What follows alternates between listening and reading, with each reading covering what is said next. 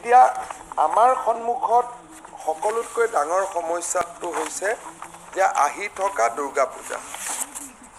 যদি দুৰ্গা পূজাৰ সময়ত আমি স্বাস্থ্য বিভাগে দিয়া নীতি নিৰ্দেশ আমি পালন কৰোঁ আৰু দুৰ্গা পূজাৰ পিছত যদি কেছৰ ৰাইজ নহয় তেতিয়াহ'লে মই ভাবোঁ যে আমি বহুখিনি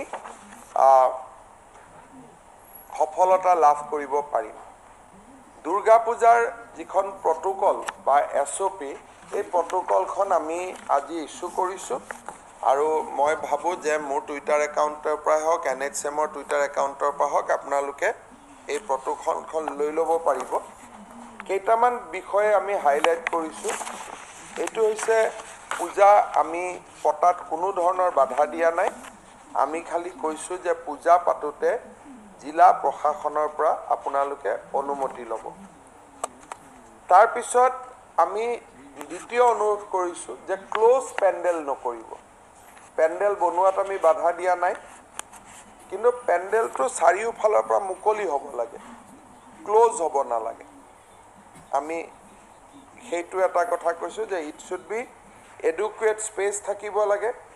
এণ্ট্ৰি আৰু এক্সিট গেট দুটা হ'ব লাগে। যিফালেদি এণ্ট্ৰি কৰিছে সেইফালেদি এক্সিট হ'ব নালাগে। যিফালে এক্সিট কৰিছে সেইফালেদি এণ্ট্ৰি হ'ব নালাগে। স্বাভাৱিকতে পূজা কমিটিৰ দায়িত্ব হ'ব যে পূজা মণ্ডপত কোনেও যাতে মাস্ক আৰু হেণ্ড চেনিটাইজাৰ ব্যৱহাৰ নকৰাকৈ প্ৰৱেশ নকৰে। আমি এটা নিয়ম ৰাখিছোঁ যে পূজা যিসকলে ভলেণ্টিয়াৰ্ছ আৰু পূজাৰী থাকিব।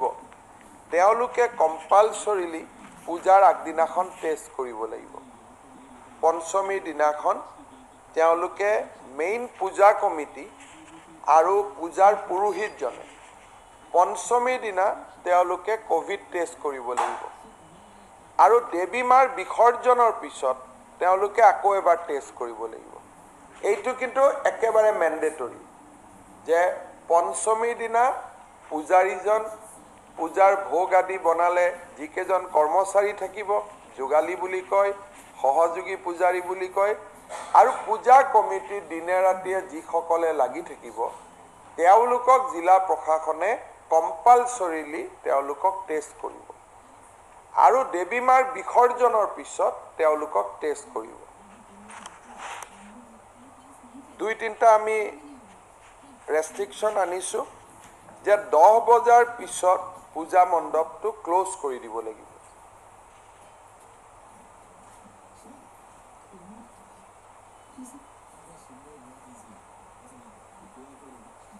দ্বিতীয়তে পূজাৰ সময়ত আমি দুইজন যুৱকে পিলিয়ন ৰাইডিং কৰিব নোৱাৰিব।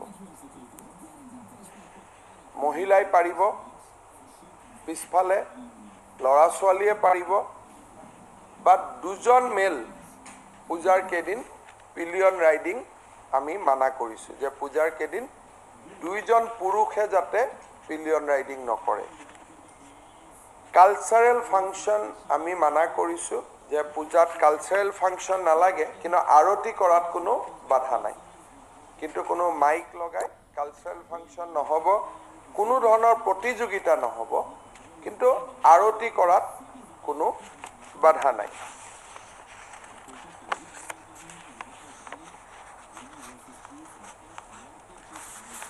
ইয়াত অকণমান ৰেষ্টুৰেণ্ট আদি নটা বজাৰ পিছত পূজাৰ কেইদিন আমি বন্ধ কৰি দিব দিছোঁ। আপ টু নাইন আমি ৰাখিব দিছোঁ। তাৰপিছত বাকী যিখিনি আছে সেইখিনি একেবাৰে সৰু সৰু বহুত বেছি দীঘলীয়া তাতে একো নাই। যে নটা বজাত ৰেষ্টুৰেণ্টখিনি বন্ধ কৰিব পিলিয়ন ৰাইডিং নকৰিব কালচাৰেল ফাংচন নাপাতিব। বাকী নৰ্মেল যেনেকৈ আছে হেণ্ড হেণ্ড চেনিটাইজাৰ মাস্ক এইখিনি থাকিব। আৰু বাকী পশ্চিমবংগ আদি ৰাজ্যত যি প্ৰট'কল ওলাইছে তাৰ লগত আমি সামঞ্জস্য ৰাখিয়ে আমি ছেইম প্ৰট'কল দিছোঁ। বহুত বেছি আমি সাল সলনি কৰা নাই। ভাচনিৰ সময়ত আমি এটাই কৈছোঁ যে মাছ ইমাৰ্চন নহ'ব ডিষ্ট্ৰিক্ট এডমিনিষ্ট্ৰেশ্যনে মাত্ৰ এখন প্ৰতিমাহে একে সময়ত বিসৰ্জন দিয়াব আৰু ইমাৰ্চনৰ ডেট দুই তিনিদিনলৈকে ৰাখিব পাৰিব যে আজি এখন কালি এখন পৰহি এখন। তেনেকৈ অৰ্গেনাইজ কৰিব আৰু ইমাৰ্চন কৰোঁতে ভাচনি কৰোঁতে কোনো প্ৰচেছন কৰিব নালাগে। সেইটো হেল্থ ডিপাৰ্টমেণ্টৰ ভিতৰত নপৰে। খালি যিকোনো আধ্যাত্মিক প্ৰথাই কৰিব পাৰিব but at a time fifty মানুহতকৈ বেছি ভক্ত থাকিব নালাগে। পেণ্ডেলত এট এ টাইম ফিফটি ব্যক্তি থাকিব লাগিব।